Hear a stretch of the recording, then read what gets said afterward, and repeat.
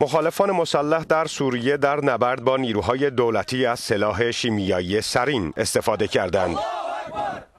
بازرس حقوق بشر سازمان ملل متحد کارلا دلپونته با بیان اینکه شواهد محکمی برای چنین ادعایی وجود دارد. افزود بر اساس گواهی شاهدان به نظر می رسد که در سوریه برخی سلاح شیمیایی استفاده شده است. به طور مشخص گازی که بر اعصاب تاثیر می گذارد تحقیقات ما نشان می دهد که این گاز توسط مخالفان استفاده شده است. توسط شورشیان.